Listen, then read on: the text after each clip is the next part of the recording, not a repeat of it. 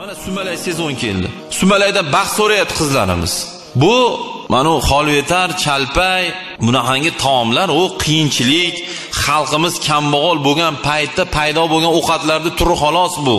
O'sha qiyinchilik bo'lganda shirinlik yegisi kelgan odam nima yeydi? Varena yo'q bo'lgan cho'ka krem yo'q bo'lgan shokolad yo'q bo'lgan yana qanaqadir bir e, izgishoniy malakolar yo'q bo'lgan bo'lsa ham olgani puli bo'lmagan. Nima qiladi? Oxiri o'sha holvetarni kimdir ixtiro qilganda birorta shef ixtiro qilgan. Shu arzon tushadi shuni yeydi. Non yo'q chalpay qilib yeydi iloji yo'q endi uni. Uni dinga taalluqli joyi yo'q uni. Nima emish? Sumalakka yong'og'ini tashlab yesa qizlar baxtli bo'lamiz shu kallani ishlatish kerak endi. Xudo qur'onda nechta joyda aytdi kallangni ishlat deb. Afala taqilun degani kallangni ishlatmaysanmi degan ha yong'oq bunday olib qarasangiz oyog'ingizga ezib ezib hojatxonaga tashlab yuborsangiz unaqa bo'lmaydiyu isrof bo'ladiyu.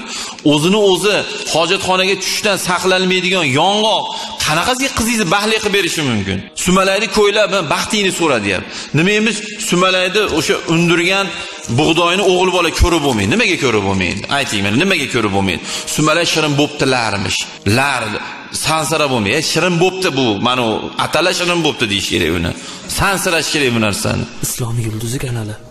Dunyoga mukammal nigoh mana shu kechasi 12da ham dang'ir dung'ur 15 16 17 18 19 rosa haligi tomi ketib bo'ydoqli payt ko'zidan ko'z yosh bas qon oqadigan davrdagi qizlar bilan bolalarni bitta qilib qo'yib sumalakka ruxsat beryapti. Qancha xunuk uyat yomon ishlar bo'lyapti.